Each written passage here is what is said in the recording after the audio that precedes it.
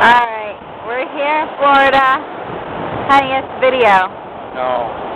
We're here in Florida. Hello. And I just stepped on something.